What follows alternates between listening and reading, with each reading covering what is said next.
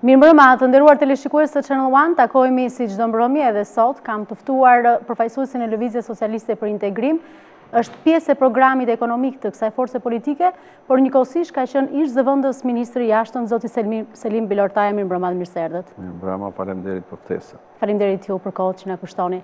Zoti Belortaja, integrimi në bashkimin Europian, por dhe standartet që duhet përmbushin këto zgjedhje janë, le të themi, janë miksuar bashkë në këtë fushatë që kanë nisur partitë politike.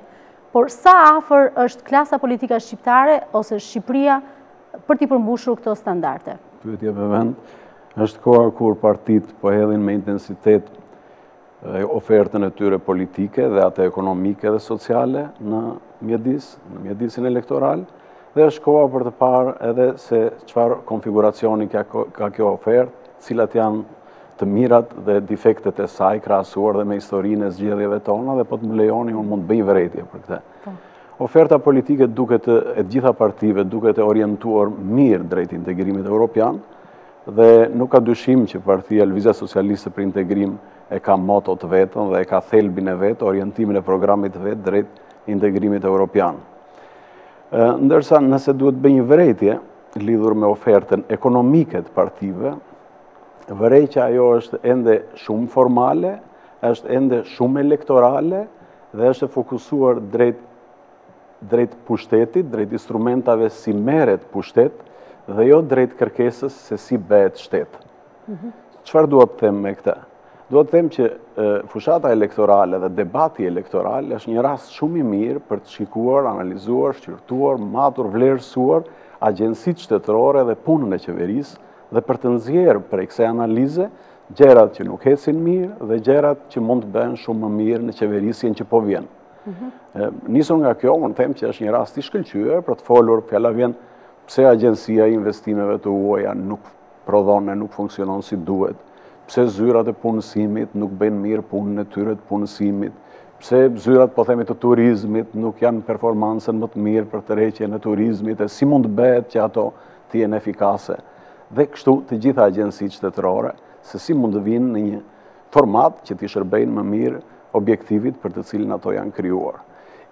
Ky, ky këndvështrim e ky dimension, mendoj se duhet të zinte më shumë vend në debatin e sotëm elektoral. Nëse, qëndrojmë prapë tek, për sa i përket integrimit të Shqipërisë në Bashkimin Europian, Zoti Meta, pothuajse çdo ditë apelon për dy kryetarët e partive të mëdha, Zotin Berisha dhe Zotin Rama, për të miratuar pra pikërisht ato ligjet e famshme, dy ligjet dhe rregulloren e Kuvendit.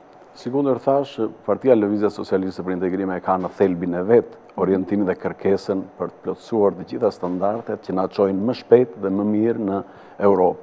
Mhm. Kjo ka qenë puna jonë e përditshme madje edhe në sektoret që kemi mbuluar në qeverisjen e deritanishme. dhe unë mund të referoj punën e jashtëzakonshme të Ministrisë së Jashtme, për shembull, për të bërë më të mirën që ky proces të përshpejtohet, edhe pse shumica e standardeve nuk mbulohen direkt nga ministritë që ne kemi trajtuar gjatë mhm. qeverisjes deritanishme. Ndërsa, ftesa e Metës, që është sigurisht në vazhdim të qëndrimit konstant, konsekuent që ka mbajtur Lëvizja Socialiste për Integrim për të tërhequr të gjithë aktorët dhe faktorët drejt plotësimit të këtyre kërkesave që na çojnë më shpejt dhe më mirë në Europë, nuk është veçse reflektimi i kësaj konsekuence. Ë në kushtet kur 12 kushtet e integrimit europian u plotësuan pjesërisht dhe në raportin e dy viteve më parë u reduktuan e vitit kaluar u reduktuan vetëm në 3 kushte, rruga të paktën formalisht, duket shumë më e lehtë për të kapur statusin e vendit kandidat. Për këtë arsye, Zoti Meta mendon se nuk ka asnjë arsye sot që të humbasim kohë dhe të mos bëjmë miratimin e shpejt të tyre, në mënyrë që t'i japim rrugë futjes hyrjes në fuqi, menjëherë nga parlamenti i ri që do të dalë nga zgjedhjet. Po, po a është arsyeshme kur thuhet që është kryministri Berisha i cili me sa duket nuk dashka t'i miratoka këto ligje, Zoti Bitri Taja, kur dihet që për kaq kohë të gjitha apelet edhe të zotit Meta, po dhe të zotit Berisha, po dhe të faktorit ndërkombëtar, kanë rënë në veshin e shurdhër të opozitës, pra të opozitës së djeshme, pa LSI-në. Çështja e integrimit europian, e vullnetit për të hyrë dhe për ta përshpejtuar procesin, apo jo, është tashmë një çështje e matshme dhe konkrete mbi tryezat e palëve. Mhm. Kushdo që ka vullnetin e mirë të kontribuojë, mund ta dëshmojë këtë duke bërë hapa konkrete. Ky është thelbi i ftesës së zotit Meta për dy partitë e mëdha, për zotin Berisha në këtë rast. Ai thotë tani që nuk kemi asnjë vërejtje parimore mbi hapat që na presin dhe mbi tre kushtet. Po që ka një kusht, dhe është vënë një kusht për të hyrë në fuqi në shtator. Ç'arsye ka që ju të mos uleni, të mblidhni shpejt parlamentin dhe të bëni kalimin e këtyre tre kushteve, tre ligjeve, tre dy ligje plus rregullorja, të cilat na hapin rrugën për të marrë statusin e kandidatit, Ndërsa zbatimin, sigurisht mund ta bëjmë me anë të strukturave që do të dalin nga zgjedhjet e qershorit. Dhe kjo ka shumë logjikë, sepse na eviton përpjekjet dhe ndërtimin e një plani për zbatimin me ngut dhe të papjekur të këtyre kërkesave të tre kushteve që përmendëm. Pra, ky është dhe kompromisi që kërkohet nga Lëvizja Socialiste për Integrim. të kapim kohën e humbur duke miratuar tre ligjet dhe të punojmë së bashku për t'i zbatuar me korrektesë ato me strukturat që do të dalin nga zgjedhjet e qershorit. Zoti Bylykbashi, ju keni qenë kryetari i grupit të punës në vitin 96, negociator pra për MSA-në me Bashkimin Europian. kanë kaluar shumë vite, kanë kaluar plot 17 vjet. Është edhe unë kush, e kujtohem. Po, po kush në dijeninë tuaj, kush nga vendet ka marrë kaq shumë kohë dhe ne jemi akoma ende pa marrë statusin e vendit kandidat. Po, është më sollët mbrapsht në kohë, po është një kontribut, më kujtuat një kohë shumë të rëndësishme. Unë isha caktuar në rolin e sekretarit të shtetit për bashkëpunim ekonomik me jashtë si kryetar i grupit të parë negociator me BE-në, nuk është se u bë ndonjë gjë e madhe, sepse Shqipëria ishte akoma në skemën e ndihmave ushqimore, emergjente, ndihmave nga mhm. BE-ja, jo, jo aq e integrimit si proces po. përfshirje të vendit, por megjithatë u bënë, u bënë hapa të rëndësishme konceptuale edhe në atë periudhë, dhe më kujtohet ardhja e komisionerit Van den Broek, ka qenë në atë kohë i zgjerimit, të cilit ne i kërkuam me insistim të mos na vinte në një rang me Maqedoninë, për arsye se Shqipëria qartas kishte ecur shumë më përpara në reforma dhe këtë e pranonin të gjithë faktorët e brendshëm dhe ai ndërkombëtar. Mhm. Pra, halli jonë që mos na vini në një standard me Maqedoninë. Ndërkohë, sot jemi në një situatë kur Maqedonia ka bërë një hap përpara në këtë drejtim. Ndërkohë, ne kemi kompensuar disa hapa për shembull me anëtarësimin në NATO, kështu që jemi aty aty. Ka qenë kohë e mjaftueshme që të bënim hapa të rëndësishme dhe të kishim marrë me kohë statusin e kandidatit. Veçanërish këto dy vjetët e fundit ka pasur shumë pak arsye për të mos i miratuar ato tre kërkesat formale, të cilat u vunë si kusht teknik për të kapërcyer këtë fazë. Zoti Bilortaja, çfarë janë zgjedhjet në tërësi, në thelbin e tyre? Janë thjesht dëshirë dhe qëllim i partive politike për të bërë rotacion, apo është një mundësi që u jepet votuesve për të ndryshuar rregullat, rregullat e bërjes së shtetit, për të ndryshuar gjithashtu disa taksa, për të pasur një shpresë se gjendja ekonomike e gjithsecilit do të ndryshojë. Absolutisht. Zgjedhjet unë i shikoj si një festë të popullit, në fakt, dhe në mm. demokraci zgjedhjet s'ka se si të jenë gjë tjetër veçse festë e popullit, sepse është një periudhë kur popullit qytetarit të thjeshtë i jepet mundësia e plotë të shprehet plotësisht mbi mënyrën se si do t'i ndërtojë institucionet dhe si do të qeveriset. Për këtë arsye, zgjedhjet duhet të jenë sa më gjithëpërfshirëse dhe faktorët politikë dhe partitë që konkurrojnë jo aq si përfaqësues i njësisë, po nga po, po, po, eksperienca ime e gjatë, sepse më janë bërë katër qeveri, gjer tani me të cilat punoj, mhm. mendoj që më shumë hapësirë duhet të kenë përfaqësuesit e shtresave të ndryshme të shoqërisë në artikulimin e zërit të tyre në qeveribërje, në shtetbërje, mhm. që do t'i ndihmonte shumë konfigurimit të shtetit për, për periudhën e ardhshme. Kjo gjë mund të bëheshe më mirë edhe në këtë fushatë, edhe në këtë aktivitet zgjedhor që po shikojmë. Nga ana tjetër, kjo gjë mund të pasqyrohet më mirë edhe në listat, Pa hyrë tek individë, tek kënaqësitë, pakënaqësitë, hatërmbetjet, ato janë gjëra të tejkalueshme dhe të tejkaluara, mendoj unë tashmë, mendoj që shqetësimi kryesor i listave duhet të jetë përfaqësimi i grupeve të ndryshme sociale, i grupeve të ndryshme të interesit, në mënyrë që ato të sjellin në fund të fundit në organin më të lartë ligjbërës, dhe të shtetit, interesat e tyre. Sepse në fund të fundit, do të krijojmë struktura të cilat do të shërbejnë dhe adresojnë interesat e publikut. Pra, sa janë mbajtur parasysh, është mbajtur parasysh ky karakteri përfaqësues i personave të listimit. Dhe jo, jo fakti nëse je burrë i mirë apo je burrë i keq si person. Je i shkolluar apo më pak i shkolluar.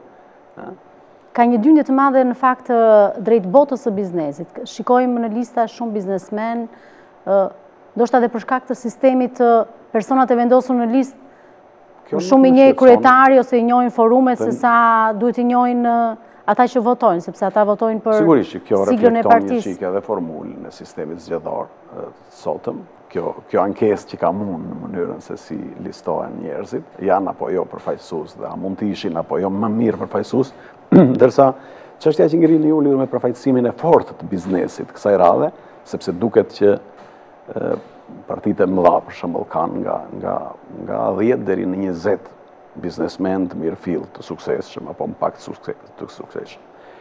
Nuk është gabim.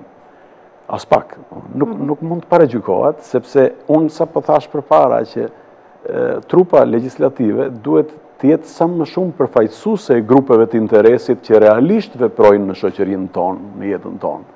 Dhe nuk ka dyshim që biznesi është një grup, ndofta grupi më i fuqishëm i interesit që vepron në realitetin tonë, që prodhon, që punëson njerëz, që prodhon të ardhura për buxhetin, që zgjidh problemet e shtetbërjes, qeveribërjes dhe interesin social të njerëzve.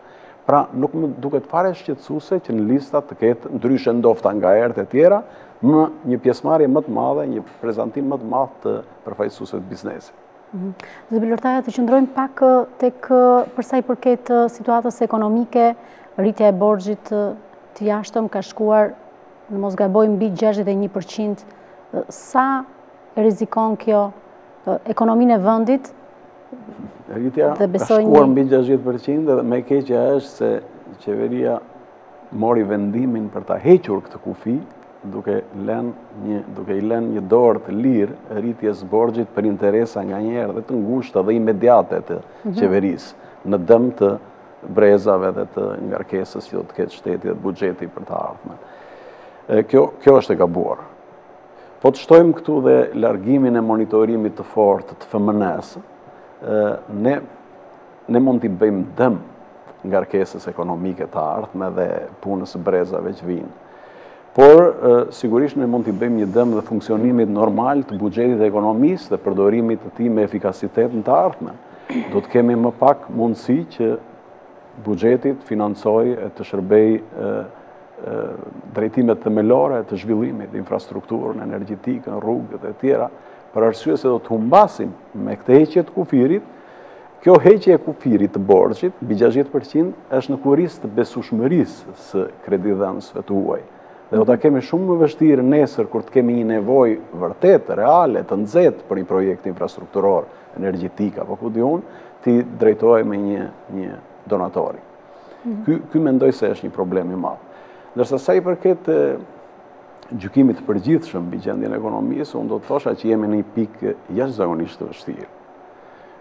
Në një pikë të vështirë ku secili duhet të ketë dhe krahas alarmit për të bërë punët e ditës dhe për të fituar zgjedhjet, gjë që e shohim prezent, mhm. duhet të punojnë më mirë, mendojnë më fort për të ndërtuar struktura, strategji që do të përballojnë këtë presion të madh që vjen nga kriza globale dhe që tashmë ka hyrë në shpitë tona dhe është prezent në çdo hap të jetës sonë ekonomike.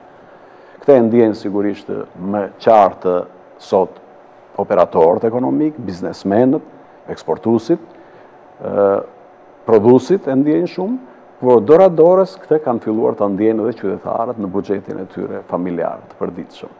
për këtë nuk ka dyshime më tashmë.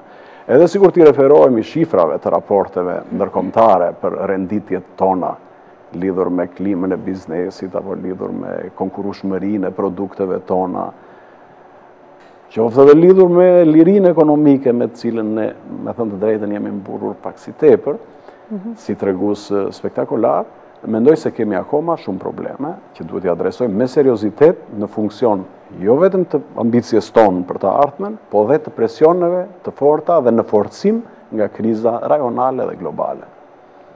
Pasojat e borxhit si mund të evitohen, përveç asaj që ju përmendët që duhet të rivendoset kufiri, pra mos të lihet një borxh ku nuk një kufi? Pasojat e tjera, domethënë për këtë borxh, si mund të evitohen, zoti Belortaja? Pasoja themelore e borxhit... I bie mos të bëjmë investime? Pasoja themelore e borxhit është shërbimi i borxhit. Mhm. Një borxh i rritur kërkon që në zërat buxhetorë, nesër, të zërë një peshë gjithnjë e më të madhe buxheti jo për të ndërtuar dhe për të prodhuar, po për të shlyer po borxhin. Pra një borxh që ka borxhin. Ilaçi i vetëm i kësaj pune, krahas vendosjes së kontrolleve më të forta nga qeveria për kufirin e borxhit, është dinamizimi i ekonomisë, rritja e ekonomisë prodhuese, vënia në lëvizje e të gjithë faktorëve dhe me efiçiencë, jo vetëm lëvizje, por me efikasitet të lartë e çdo leku të shpenzuar publik. Natyrisht edhe dinamizimi i sektorit privat në të gjitha sektorët edhe drejtimet.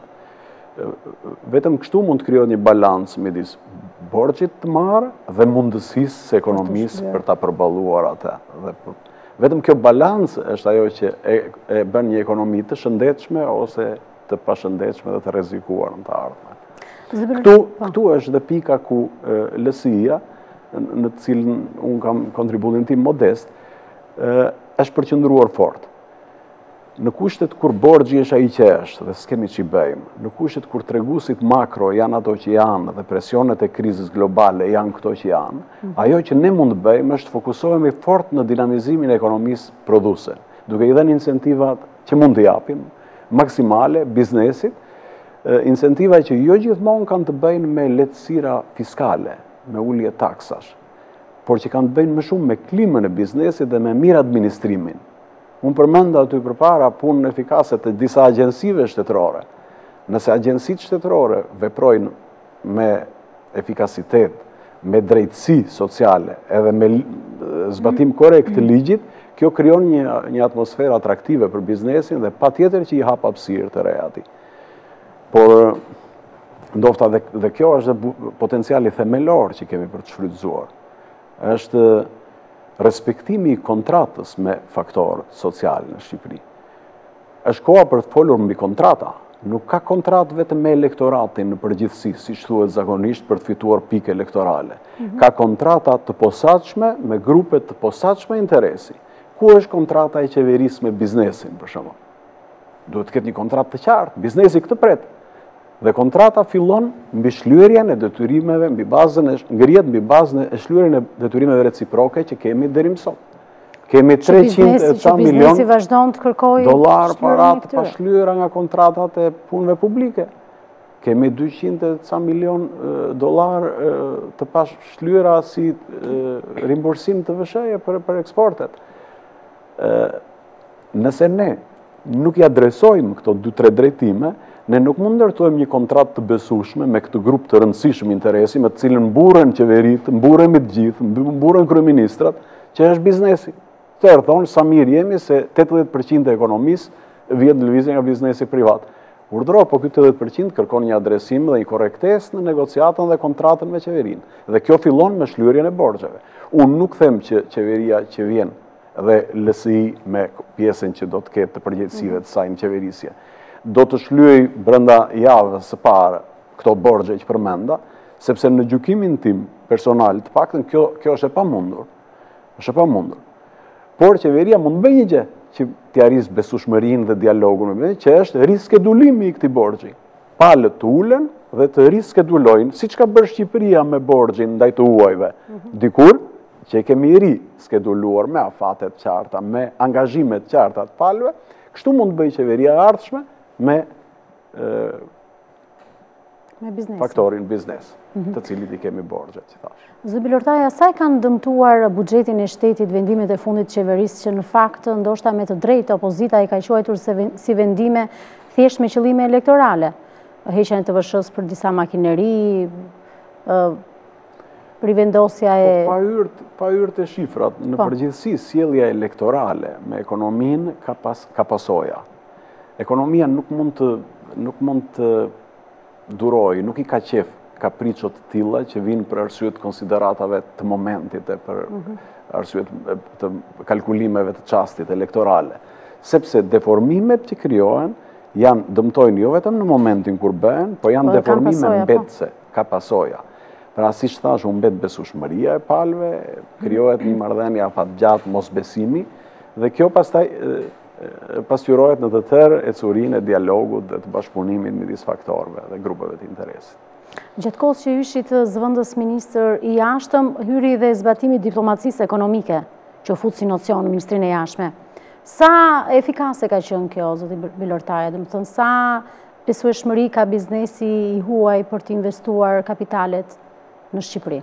Unë jam munduar gjithmonë të sqaroj që suksesi i një segmenti që ngarkohet me detyrën e diplomacisë ekonomike varet nga një nga një kusht që faktorët që marrin vendime në këtë vend duhet ta kenë seriozisht. duhet ta kenë me gjithë mend. Nëse faktorët vendimmarrës nuk e kanë me gjithë mend, po ngrenë një agjenci apo një departament për ta prezantuar në sy të botës, si një tablo që kompleton strukturat e shtetit, dhe kaq, pa i dhenë asaj as mjete dhe as kompetenca, sigurisht që ne nuk mund ta arrijmë synimin për të cilin jemi krijuar. Dhe segmenti i diplomacisë ekonomike, me gjithë qëllimin e mirë që kishin drejtuesit e Ministrisë së Jashtme në këto 2-3 vjet, dhe angazhimin personal edhe të ish-zëvendëskryeministrit Meta në konceptimin dhe promovimin e këtij departamenti, nuk shkoi më tutje për arsye se vazhdimisht u shfuqizua nga mospërfshirja e vazhdushme që i bënte qeveria në nivelin më të lartë këtij departamenti dhe kësaj strukture të ngritur për atë qëllim, për të shërbyer dhe promovuar më mirë pikërisht investimet e huaja, tregtinë me jashtë, imazhin e vendit si një mjedis i mirë ekonomik e tjera. Pa mjete dhe pa kompetenca, madje nganjëherë dhe pa e ftuar në tryezat ku diskutohen këto po, punë, si mund të presësh nga një departament të bëjë punën e vet.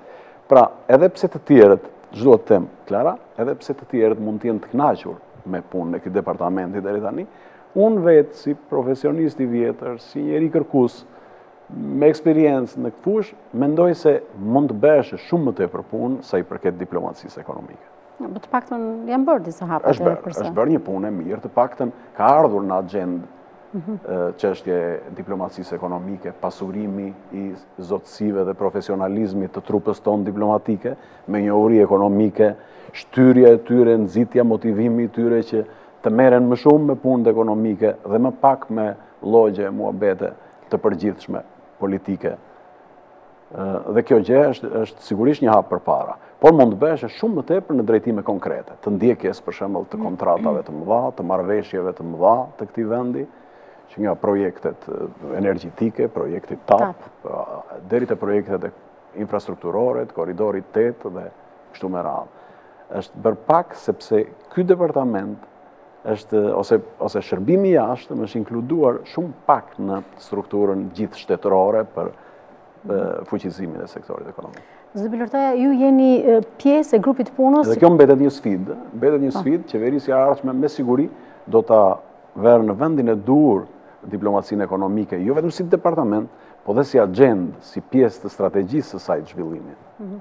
Ju jeni pjesë e grupit të punës që po merret me programin ekonomik të forcës pra të Lëvizjes Socialiste për Integrim. Në cilat, kush janë shtyllat ku mbështetet ky program? Ju vetë thatë që kemi premtime dhe kur thatë këtë nuk besoj se Domethënë jam e sigurt që s'e kishit për LSI-në se e vetmja forcë politike që nuk ka bërë premtime në shifra, as ulje taksash, as kaq vende pune. E vërteta është që interesi themelor, ekonomik, i shoqërisë shqiptare, sot është punësimi. Për këtë, LSI-ja nuk ka asnjë dyshim. Por ndryshe nga të tjerët që rendin pas, pasqyrimit të shifrave të mëdha impresionuese, ne po ulemi dhe po bëjmë disa kalkulime.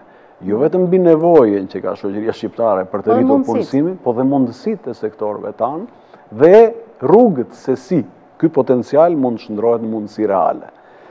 Dhe nisur nga kjo, ne Në qofë se duhet të filloj dhe unë, të bie dhe unë në atë kurthin e shifrave, edhe ne kemi një shifër që shkon aty nga 170-180.000 të punësuar për 4 vitet e para, me rezervë, themi edhe këtë, dhe me kushtin, dhe me kushtin që aktivitetet dhe menaxhimi qeveritar i duhur të bëhet ashtu si mendojmë ne.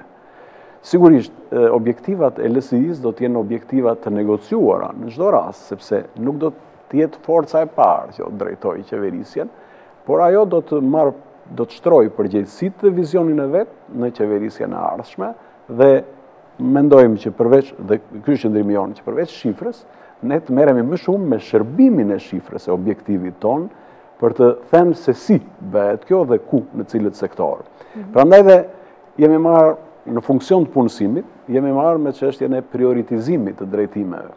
Një qeveri, e thonë dhe të mëdhenjtë e qeverisjeve botërore, nuk mund të merret me çdo gjë. Duhet të merret me 2, 3, 4 prioritete. Nuk mund të bëjë çdo gjë. Ato qeveritë e mëdha mbahen mend për 2-3 reforma të mëdha. Nisur nga kjo, ne kemi nxjerrë 2-3 sektorë. në funksion të punësimit, por në funksion edhe të dinamizimit të tërë zinxhirit ekonomik të vendit, që shkojnë nga bujqësia, ku punon 50% e vendit, dhe ku është një potencial që të gjithë që e studiojnë ekonominë shqiptare, të brendshëm e të jashtëm, e nënvizojnë si një sektor me shumë potenciale. Ne themi që 50.000 të punësuar nga ky sektor, është krejtësisht e mundshme të bëhet. Mhm. Pjesa më e madhe si vetëpunësim, fermat e tyre, duke u krijuar situatën e nevojshme dhe duke nxitur kooperimin në bujqësi, se ajo është sfida themelore dhe ne këtu kemi punuar. Dhe pjesa tjetër, nëpërmjet nxitjes së biznesit agropërpunues, të grumbullimit dhe të atij biznesi që e çon produktin tonë më lehtësisht nga prodhuesi tek tregu. Po kështu kemi energjinë, mhm. po kështu kemi sektorin e turizmit dhe shërbimeve si sektorë të veçuar për punësim dhe impakt të shpejtë social. Mhm. Ndërsa sa i përket masave të tjera, kujdesit social, ne mendojmë që edhe këtë mësim na i dha dhe kriza, që është agravuar, që formula e dorës së fshehtë të tregut, lërja gjithçka tregut, se Nuk ka nevojë për pjesëmarrje të shtetit, për prezencë të shtetit, është një formulë e mbaruar tashmë e djegur, edhe praktikisht, edhe teorikisht. Edhe në teorinë e sotme po pranohet edhe nga më liberalët, me gjysmë zëri në fillim, por me zë të plotë tani, që sistemi ndërkombëtar ekonomik ka nevojë për ndërhyrje të forta dhe për korrektim. Madje edhe teoria ekonomike deri sotme ka nevojë për korrektim.